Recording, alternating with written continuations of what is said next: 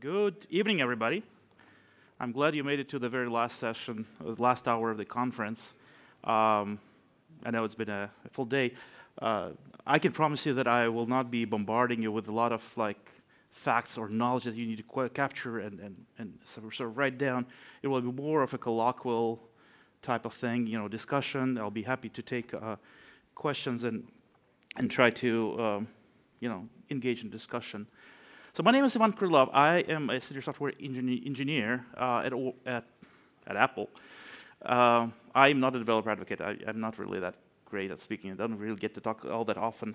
Um, however, that said, I, you know, this is my community talk. This is not something that the company sent me to do. It's not really endorsed, but uh, it's kind of my own thing. Um, now, now, many of you have seen the great presentation about uh, Java at Microsoft, and I only wish I could uh, do something like that maybe some other year. Um, but if you came here to learn about you know, Java at Apple, I, unfortunately, that it's not what's going to be right now. Um, however, if that question is burning you, what is Apple doing at Java conference, um, then there's a website, careers.apple.com. Just search for word Java and see hundreds of openings there, and that might give you a clue and a glimpse of you know an idea of the, the variety and uh, distribution of projects that, uh, that use Java. So Java is, Java is important. All right, um, so without further ado, uh, let's go. I have a clicker, all right. So I'm going to be talking to kind of hoping that the audience mainly consists of developers, um, and I'll be I'll, I'll, be taking actually a very enterprising kind of approach uh, uh, when, when talk about this. So what I will be focusing on is not so much the new features that are emerged between 11 and 17, but rather about you know, what, what breaks and, and what are the other considerations that you might want to do. However, I will still cover the API changes, I will review of them. Um, and we'll sp speak about the JVM improvements and, and, and, and changes under the hood. Um, so I, I actually worked um, something that happened last hour. Uh, there was a poll I didn't actually know about, but it was it was running about the, number of people that are running various versions. So there's still still people, according to the poll of this conference, that's still running on Java 7. There are some uh, that are running on Java 8. More people though running production on Java 11.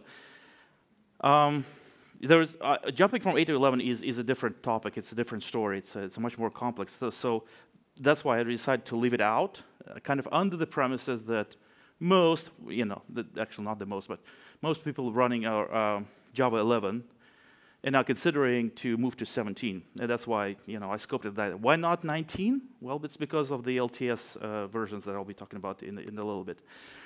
Now, the other important part is that this uh, hopefully gives some information for tech leads that, uh, that, that will, will be talking to managers um, in presenting this task, look, we have Java 11 in production running, and we need to move to 17.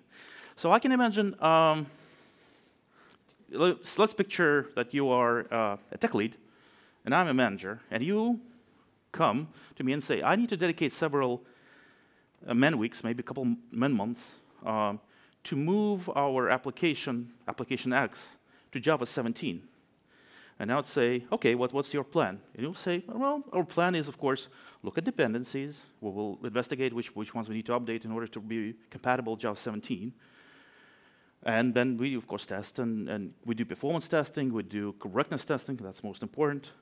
Then we change our code, whatever is not compatible, we'll change our code, you know, be compliant with 17, again, correctness test, performance test.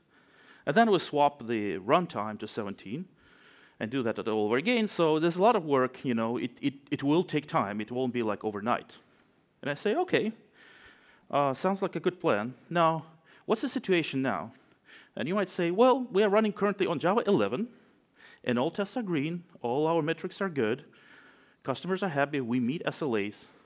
And at this point, I, you know, as, as, a, as, a, as a greedy manager, might say, well, why the hell do you want me to invest this much time into migrating to Java 17?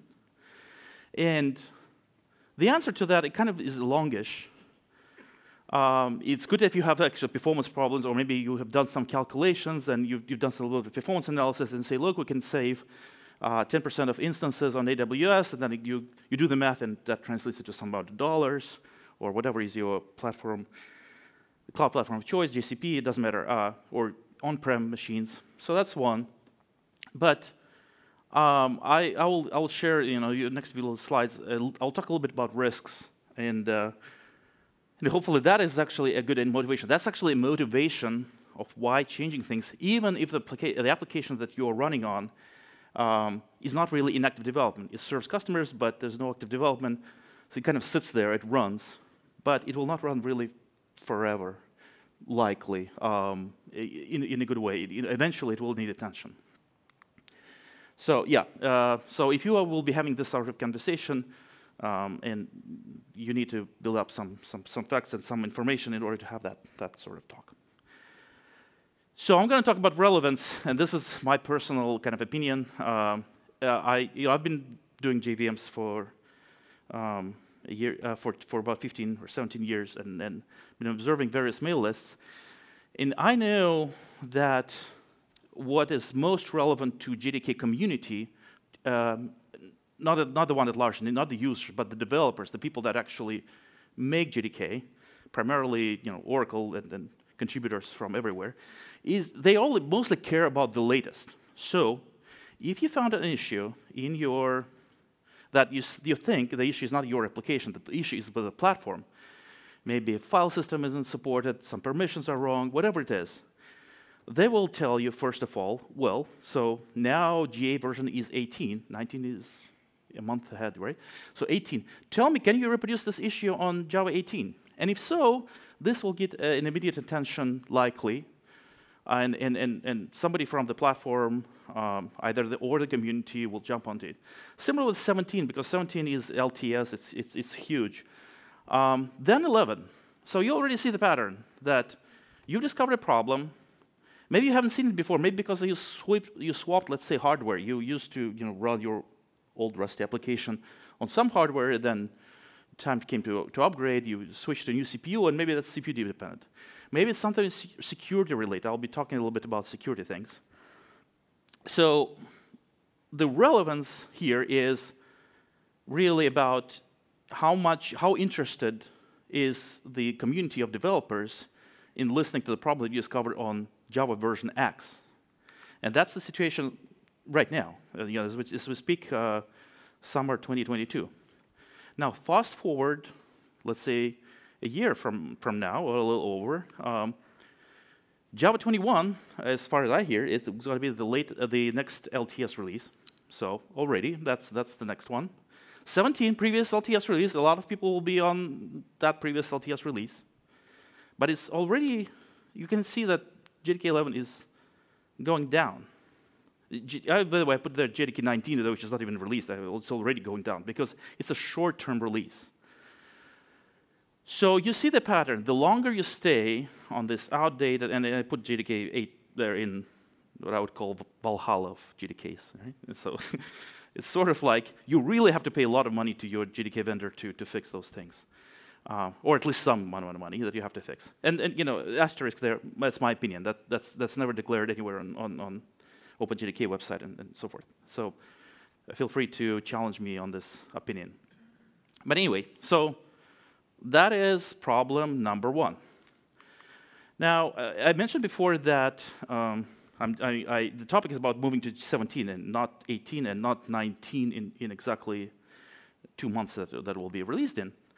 So, okay, this is, this is a terrible picture, but bear with me, I'll explain what it is. Um, the, so I can imagine there are two scenarios of the projects you're working on. So the blue thing, so this is a project with fast release. This is very common for if you're, you're custom software. Let's say your customer is a bank, and you have this production software, you roll updates, maybe every sprint, maybe however your sprint is long. You do it frequently. And as applica as application writer, you control the runtime. So you get to decide which Java version you want to run on. The red thing is kind of a time span of support of the LTS release, and the yellow ones are a time span of a GA release, like 12, 13, 14, and the above mentioned uh, Java uh, 18. That's actually that's not on the chart, but anyway.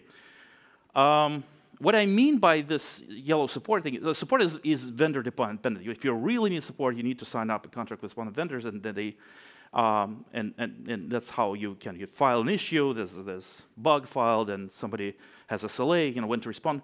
But when you are in the time scope between this next release, let's say JDK 16 came out, for the next uh, six months, you have this privilege to get essentially a free support.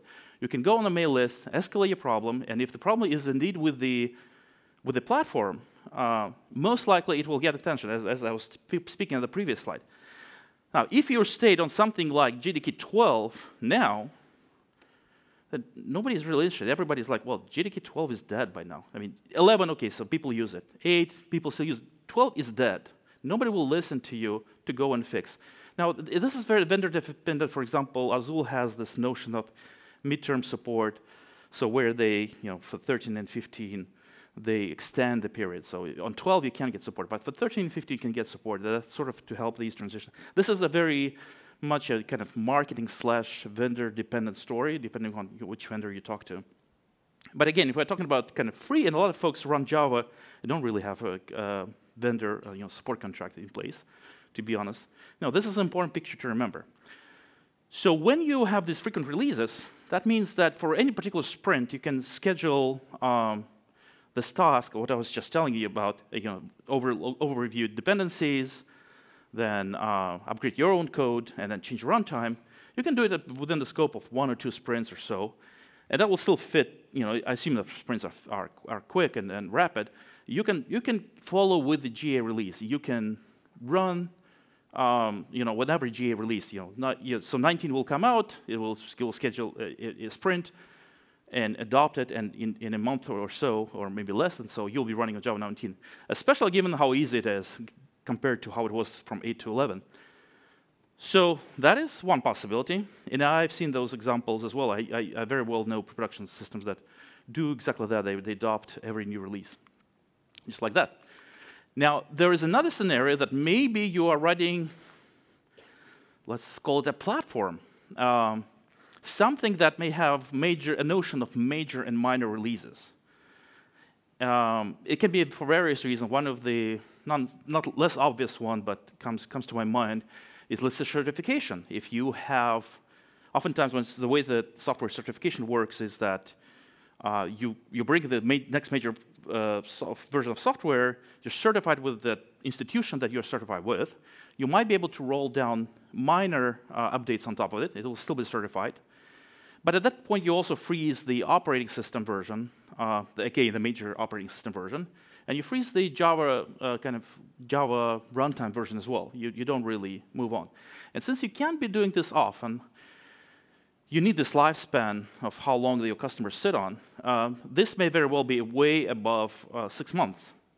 And so in this case, you don't really get this lever. You can't really use the, the, the, the, yellow you know, steps. You can't really do this often. Your only option in this case is to stay on LTS releases, and you probably you probably figured that. So 11 was previous LTS, and now it's it's 17. The next one will be 21 according to the existing schedule. So these are the two scenarios that I can think of. Um, so now we talked a little bit about risks, and we talked a little bit about why staying on LTS versions, uh, deploying on LTS versions, especially you know in that sort of situation. Now let's talk a little bit about dependency. And again, I didn't want to pick up on any particular library. Um, that's why I put it kind of obscure dependency X, dependency Y.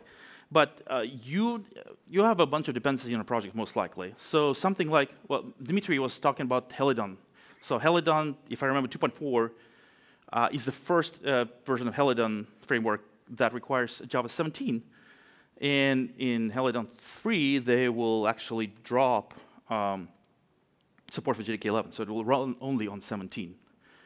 Um, by the way, uh, sometimes when you want to adopt a new framework, new dependency, if it delivers new features, that's all yet another motivation for you to move forward. Something like Spring 6. Yeah, Spring 6 requires you to run 17, and if you want to stay on runtime 11, that means uh, that's version 5.3, I believe that, that has a fairly long and extended support lifetime. Uh, you know, we can talk. I, I actually somewhere have a list of uh, you know Spark, Hadoop, um, uh, Kafka, you know, support lives. They are all varying. But ideally, you would want to find a, a, version of dependency that supports your, let's say, 11 that you are running on, and 17. And if, if, if, that upgrade is required, you do that, and then you test fun functionality, you test, you test performance, and, and if it's all good, then you've done you one dependency upgrade. Then you go to the next dependency, however you have, how many you have them, and that's your plan about dependencies. So that's the first thing that you do. You don't really yet upgrade our runtime. You, you, you look at the dependencies and change, and change those. Hopefully, because 17 has been released, what, about a year ago, most libraries uh, have declared, um, you know, you have released versions that already supports the 17 runtime, with the one obvious exception, I think, of Cassandra. I think Cassandra, uh, even if 4.0 still requires 11, and they don't really have a word about when 17 is going to be supported. So there can be situations where you're still blocked uh, on dependency, and you cannot um, you cannot move on. Um, at this point, it's very good to talk to the vendor of that of that library and, and ask what the hell, you know, what, what, what, how can we move forward? Now the next thing is will be the breaking changes. So you will be eventually moving it over to, to 17 and things may break and it may still bitter from the past experience of 8 to 11 where a lot of things were, were broken. And I tried very hard to enumerate uh, what can break and there aren't too many things to be honest. So should not be afraid. Uh, Nashorn JavaScript has been removed. Now, it's not that Java is such a great platform to run JavaScript, but on occasion, it was just very convenient to run right there on the same Java virtual machine, your, your script. Now, you can go um, and load it now as external dependency, it's just not packaged with the JDK itself. Solaris and SPARC ports are removed. I, I, don't know if the story if they're available commercially, but at least kind of in the OpenJDK uh, and, and main vendor distributions that are out there, you cannot get them. So uh, in, if in, by chance you have in your lab, in your, um, in your, in your, um, in your deployment, if you're using that hardware, you might have to switch hardware because you won't get 17 at least for free. There are some minor packages and classes that are being removed, but kind of utility ones. It's more of a cleanup inside of a JDK.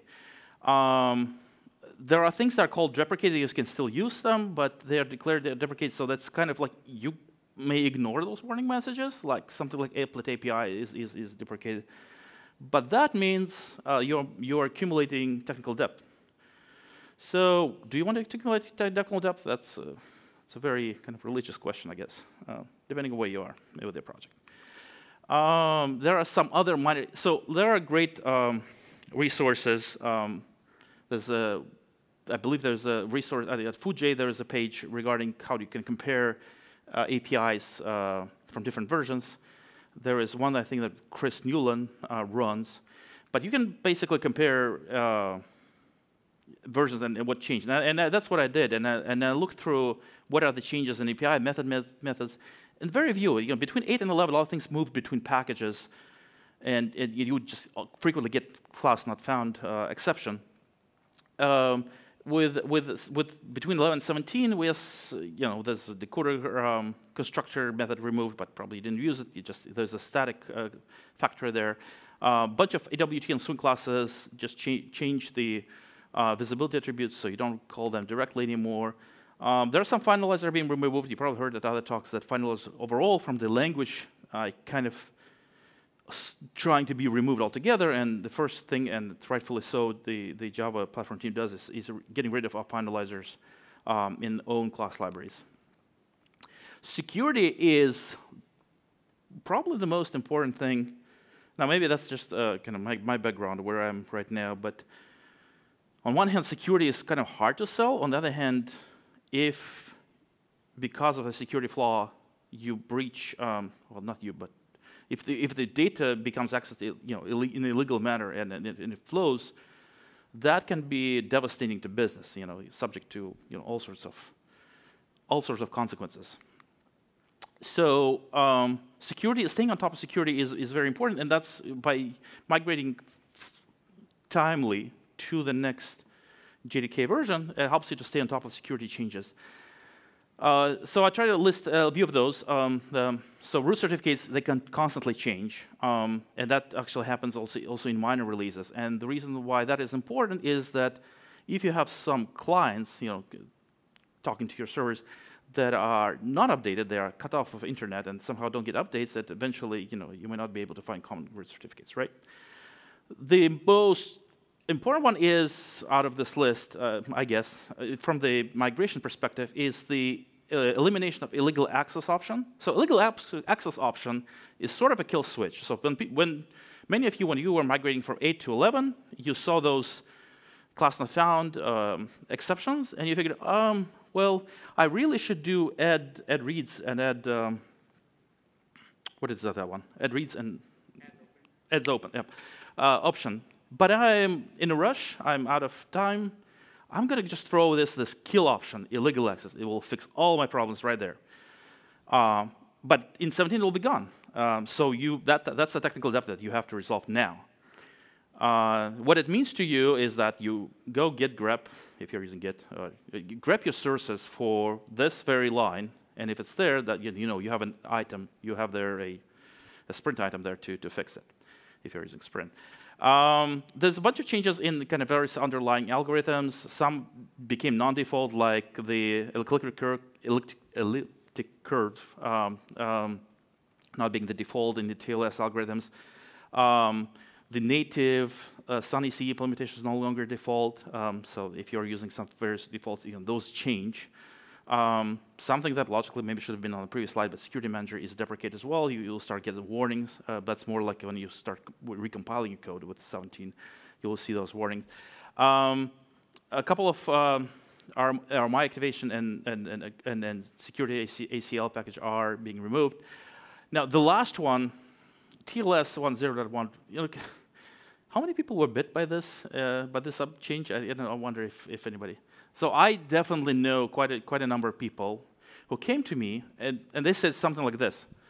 We wanted to migrate from 11 to 17, and our client can no longer talk to a server. And I, and I asked, okay, tell, give me, give me, let's start with, a, with the simple things. Give me a version. It turns out that they were like 11.05, and they were moving to, uh, to 17 GA. The thing is that, um, well, in this particular case, TLS 1.0, 1.1 became unavailable. There are tutorials on how to configure so that they become available again, but, but by default, they are not available. So the, the TLS, TLS of these older versions cannot be, cannot be used in a default configuration to, to connect between client and server. Uh, the lesson learned here is that if you are migrating from 11 to 17, do, the, do, the, do a favor yourself and move to the latest update of Java 11 so I believe today, uh, Oracle and others will be releasing update 16, so that's your target. Up until now, update 15 of JDK 11. Move there, uh, make sure everything works, and, and then you can kind of continue on with the migration work towards 17. So very important, uh, move first to the latest update of the existing uh, LTS 11, therefore, and then move to, to 17. In the VM, well, that, that's a very dear topic to my heart. Um, Graal, uh, so there are very few changes. Uh, the first one is that Graal VM is no longer bundled. You can still get Graal. You, you can you, you just go to the Graal website and, and download OpenJDK from there. But in JDK 11, what happened is in JDK 11 they introduced this uh, enable experimental JIT, and you could enable Graal there. The problem was that it was not all that frequently updated, and therefore eventually the platform team decided that uh, whoever wants to use GraalJIT need to get it elsewhere, uh, such that they get the latest and greatest. It's not bundled by default. Uh, the second one is actually a very big one. Uh, there are lots of customers for CMS, particularly because in the old days, you know, like Java 7, Java 8, it was it was hard to tune, but once you tune it, you get you probably get the best um, the best kind of latency characteristics um, from your JVM. And even though Shenandoah and ZGC have come a long way, um, CMS is still widely used and in and it, it's it's quite noticeable. And I know teams and I know projects that are uh, you know they, it's hard for them to kind of pass by this one. The third one on the bias locking removal, uh, well, it's deprecated now. You can still enable, but it's already off by default. So bias locking is a little trick that JVM does when when there's a, there's a low contention on an object, Um, and the fast path of acquiring a lock on an object is a quick one, and bias locking is kind of giving this bias towards a particular thread. Um, most, most measurements uh, show that bias locking is not really a big factor and therefore can be disregarded, but there can be some corner cases where it can. So since it's still available uh, in 17, if you suspect a performance issue, that's one of the things to try, try to, to, to enable back bias locking. And, but, it's, but to notice performance issue of a, of a bias, um, of bias locking being not available, it's, it's kind of a tricky thing. You're really in the kind of deep into performance tuning at this point. There are a few uh, new features. Now that CMS is gone, ZGC got really good. So ZGC is available from, actually from JDK 11 as an experimental garbage collector. Now, if there's one thing to remember from this talk, do not use ZGC in production if you're still using JDK 11. Um, there are known issues not fixed do not, uh, if you want to use ZGC, it's a great collector. Go straight to JDK 17. But, but if you do need a low pause collector with OpenJDK, Shenandoah has been doing a terrific job not only like developing the collector and it's, it's nice and shining in 17, but they also were very good at backporting all the features uh, into 11. So while on surface, ZGC and Shenandoah um, kind of are addressing the same problem, the problem of latency. The way that the source code is maintained and the way that updates are managed is dramatically different, in my opinion, um, between the two kind of teams. So, so be aware of that. Um, something that happened with a number of garbage collectors, several of them, uh, you know, different times, is about unused memory being uh, released and given back to the OS. That's kind of important if you have other processes besides your JVM on, on the machine most folks tend to run JVM per, per, per server, and, and therefore they don't necessarily uh, care if it was released and then was reacquired again. Uh, but that's something to be uh, uh aware of. There were many improvements. So G1 doesn't get all that much love in at conference talks because you know G1 appeared a long time ago. There were incremental, smaller changes here and there. But actually, there were a lot of things that happened in, in, in the past three years, um, like abortable collections, which uh, helped to help to meet the, the, the target that you were um, they were looking at. By the way, I, I don't really have a counter. I have no idea how much time I do have left. Um, and uh, um, and across all collectors, G1 included, there was a, a, great effort of trying to do as many operations concurrent as possible. And concurrent means that your Java application keeps on running, albeit maybe a bit slower, while GC doing its background work. So these are great. You get that you get this stuff for free, except for the CMS is gone. So you you kind of have to make. The thing is that CMS is gone. So, well, a you get this option, you get this error message if you try to enable CMS, and b, the default collector is G1, um, and maybe if you're targeting low latency kind of uh, scenarios, you need to select Shenandoah or ZGC to go forward. Um, so I mentioned the GraalVM is out um, out of the door. Now that's C2 collector has been out there for two decades or more, uh, and they still still kick the butt. You know, they're still really doing a great job. And some of the things that I've learned from the Graal codebase is that inlining is actually very important. And so they've done a, a, great job of tuning and making inlining better. Inlining unlocks a whole bunch of other optimizations that now become that now are available to a wider scope um, in terms of uh, methods being compiled and all the methods that are being called from the method being compiled. And so C2, while it isn't really kind of hyped and it's not really it's not really mentioned all that often, is getting a lot of improvements. On the runtime, um, besides the elastic metaspace, uh, that's also a way of giving back uh, uh, memory back to us. The biggest changes that I recall are about the class data sharing archives that I think that were, were mentioned at least once or twice during, during early talks today. So I will not dive into those, but it's a way to improve startup. Um, the speaker the, of, the, of the relevant session said that uh, it was Ionut, I think, um, that he, he could observe like 10% improvement on startup time. Um, and while the feature has been evolving over time, it's now that it's actually so easy to use that it's almost like a free lunch, free, free thing in terms of improving their startup. Uh, on the serviceability side, JFR is uh, in my view, it's becoming like a de facto standard in terms of uh, monitoring and uh, collecting data on what's actually happening to Java virtual machine underneath, and that the main thing that happened there is addition of streaming events.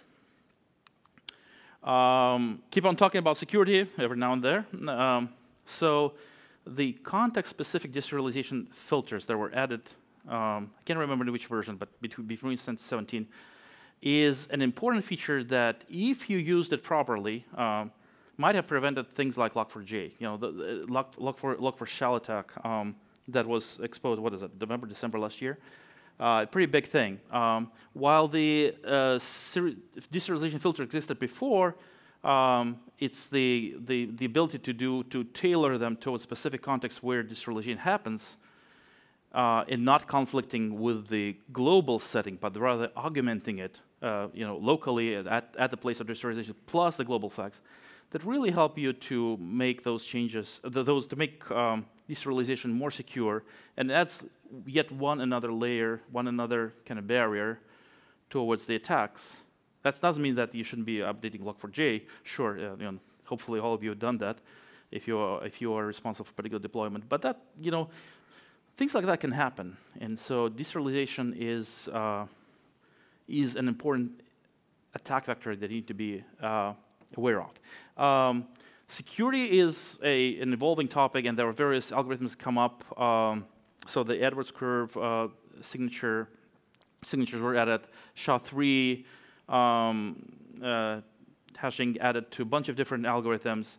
Um, you know, as I mentioned, the you know root certificates, uh, the, especially the ones with the one um, 1024 bit keys were removed and replaced by newer ones.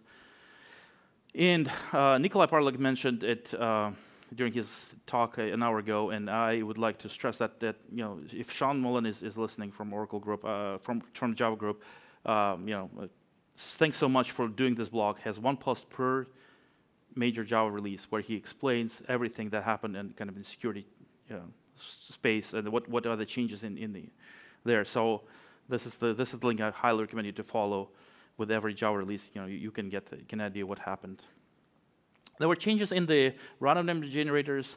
They're not really all that noticeable to you because the APIs largely stay the same, but um, these the algorithms underneath have approved, and I try to make sense of like the changes in terms of the kind of class and class, classes are um, kind of in a dark red and and interfaces are in a in magenta color here, um, and try to make sense of the of the new uh, structure of code that's in, in JDK. But the bottom line is that while we as developers often think of like, look, where do we use random, random generators? Maybe tests. We want them to be random, but not too random, or we don't care how random they are. But if you think about things like um, authentication of purchases, you know, you, you, you go online and then you get this one-time code, um, and, and you use that one to authenticate your purchase. And so if those random sequences can be guessed, that's a, that's a problem. Uh, that's a major security problem.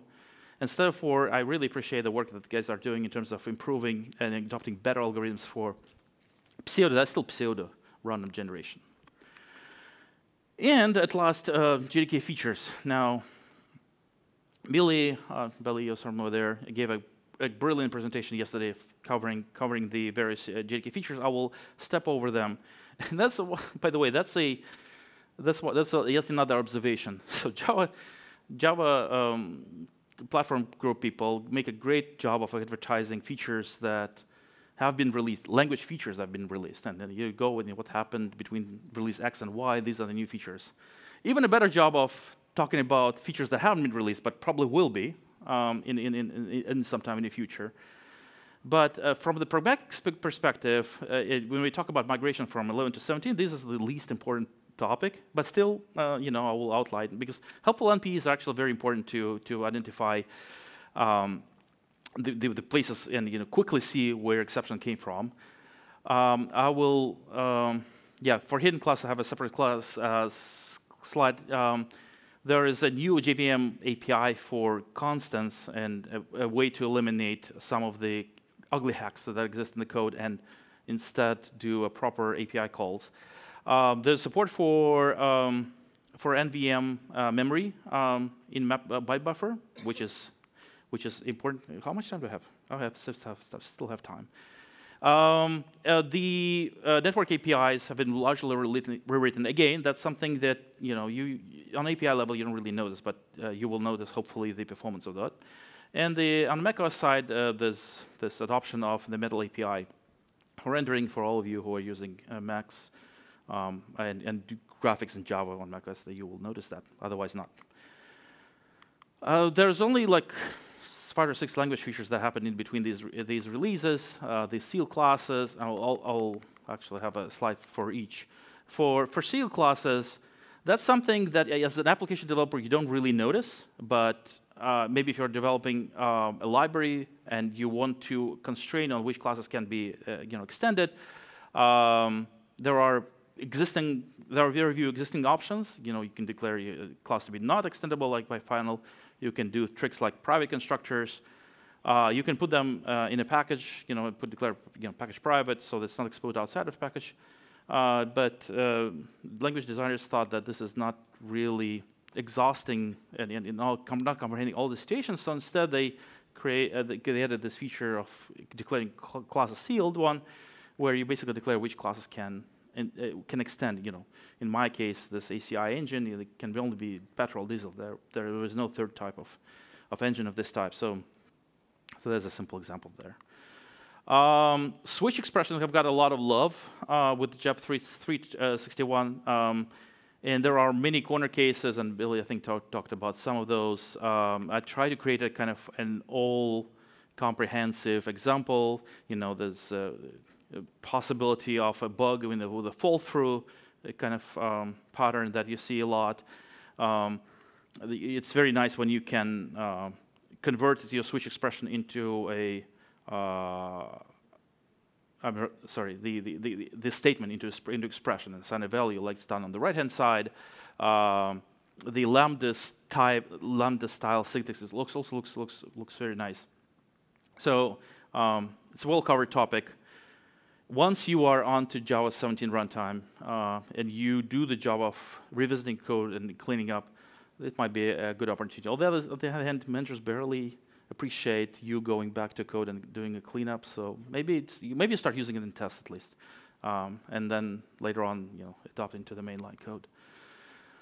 Uh, better instance of, okay, it's another thing that allows you to write. I, am pretty sure probably you'll not have time to go and revisit all your code and, and, and, and do this sort of transformation, but on, on slide it looks great. You know, you, you reduced uh, uh, the complexity of reading this code and, and uh, no, you could fit in additional you know, condition right there in the if statement. It looks cleaner, nicer. The language is evolving. It's all good to observe. From the migration uh, standpoint, it's not really that important there you have it. Text blocks is actually something really cool. I, I, I, enjoy and I love it a lot. You've probably seen some, well, there was an example uh, on JSON. I'm giving you here an HTML example. It comes directly from the JEP itself. And, um, and again, it helps you to, to, to make your sources cleaner, easier to maintain, uh, bug-free. But it's all for, for new code. Um, finally, on the records class, uh, again, the example given straight from the JEP. So if you want to write a standard 2D, 2D point, and you might need to create a kind of trivial and simple constructor, uh, getters, equals method, toString um, implementation, you know, hash code, all of that can be, with records, can be translated into a single kind of declaration.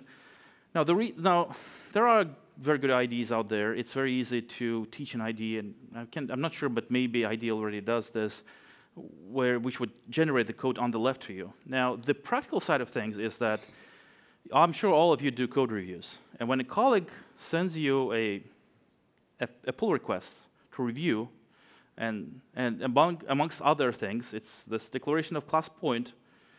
Now you start look, taking a good look at like, is this class doing what I think it should be doing. Just really have fields as private, getters as public, fields are final. So by using something on the right-hand right hand side is, is great for, just saves a lot of time on, on, on code reviews. You, you, like, you understand the, the, author really well, and that's, and, that's, and that's the beauty of it, I guess, more than anything else. Otherwise, yeah, a bunch of IDEs can generate something similar to you or um, or maybe Lombok can do this as well. Um, so there are preview, and incubating features um, that are listed here. Um, do not use these in production. Do not code against them because, look, you may be eager to try this new cool vector API, but if you try to put this into production code, uh, uh, you know, thinking that you know this is the version that I have in Java 17, and then you're being pulled to another project, somebody else comes in who doesn't really understand your code, and vector API change uh, between let's say 17 and whatever is the next one, LTS 21, it would be a a, a problem that you'll create right there on the spot. So um, sure, try uh, preview features, give feedback to authors, uh, but don't put them in production. Um, no way. And uh, platforms is a big thing. Um, so between 11 and 17, uh, first of all, Alpine Linux, Alpine Linux support came, came about. And uh, kudos to, I think, Bellsoft guys who are driving this effort, which is great because people are using Alpine Linux all over the place, uh, primarily for Dockers. You know, Mix helps you to have those tiny images, which is great, cost saving, all that. Now, ARM64 got a lot of love uh, between 11 and 17. First, there was a unified port. So originally, that was a closed source, I believe, port that was lived out there. And then Red Hat was relating like in the open. And there were two implementations of pretty much the same thing. And they managed to talk to each other and come up with something that's called the unified port, which is great. Um, so, and Graviton uh, leverages that. And, you know, there were some additional support added for Graviton machines. and and if you ever go to AWS events, you'll, you'll hear a lot about how good is Graviton. So that Graviton work, support, and, and ability to use it comes from this ARM64 Linux Unified support, which is great. Now, uh, Windows was released for ARM platforms, and understandably, Microsoft can uh, contribute to this work, and we now can use um, Java on Windows on ARM. And then macOS was released on, Mac, on, on Apple Silicon, and this work was contributed by Microsoft, and, and, and with a lot of help, or actually a lot of effort from Azul Systems. So as somebody who meets every single day people using Apple Silicon Macs, I really appreciate this work. Um, um, so thanks so much, Azul guys, Microsoft guys. Uh, really appreciate that. Um, later on, this was backported to 11, so you can actually it wasn't it wasn't immediate, but by now you can actually download JDK 11 in uh, and, and, and, and ARM build builds and, and, and, use that as well. But not JDK 8.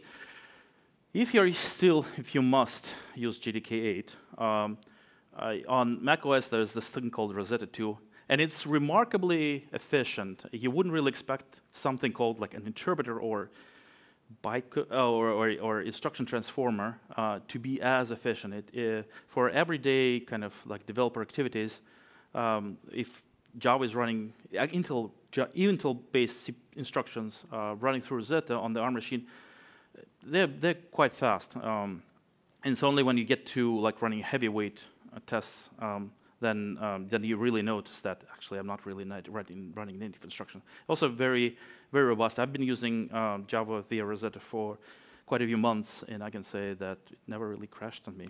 So it's pretty good. The matrix of the support matrix of platforms is now complete and on par for x86 and ARM, uh, which is great. Gives you a choice.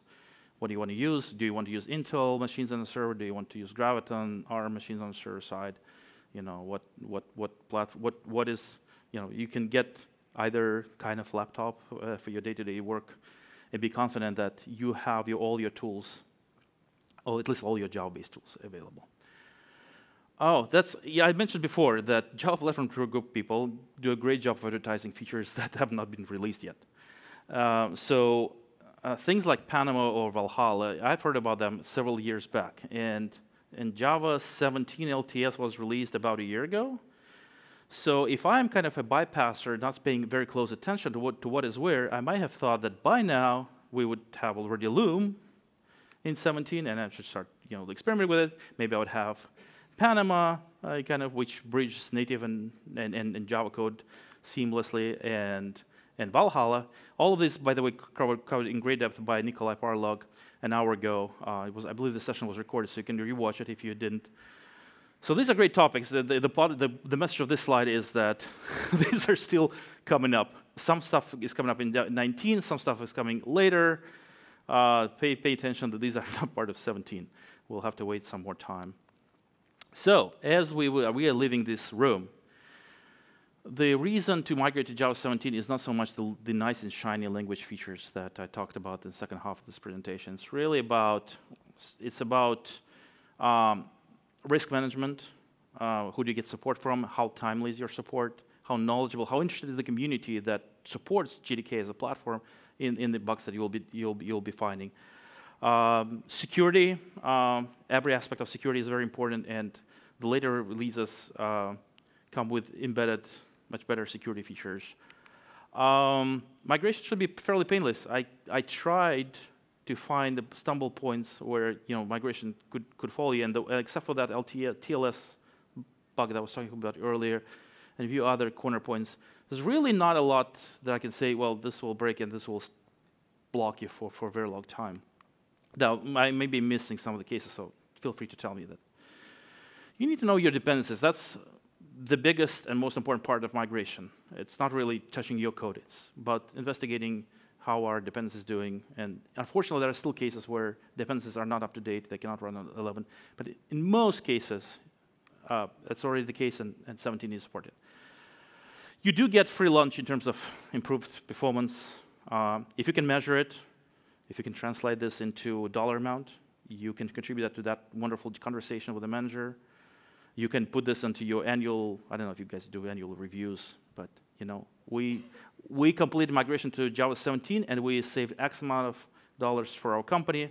Will be great, you know, maybe you'll get an extra bonus for that. That's a motivation, isn't it? Um, IDEs are up to date, yes. Uh, that, that that in the past there were cases when you know Java would come out and, uh, uh, IDE would take time to catch up, or, or NetBeans and all, all that history. Now there's a very good co collaboration between those teams, and and IDEs are supported as you are well aware. Um, the content is uh, of releases is vendor specific. I must say that. For example, I mentioned that GraalVM JIT is no longer shipped with the JDK releases in general. But there are vendors out there, uh, namely Bellsoft, that they actually package GraalVM JIT, so can. So if you must use it, that's that's that's also a possibility. So. So it's it's it, and, and there are like cases like cases like that. For example, Oracle binaries for a long time were not shipping Shenandoah garbage collector. I'm not sure what the what the story is as of as of today. But other than there's were we're we're shipping. So uh, you need to be aware that well, while mostly OpenJDK is vanilla OpenJDK, it really matters who do you get the OpenJDK from. Um, and so pay attention to that. Um, yeah, um, more more platforms, more relevant platforms are being supported. Um, small improvements um, on kind of for each individual platform that I a little bit touched upon. And with that, thank you very much. That's all I have to say today.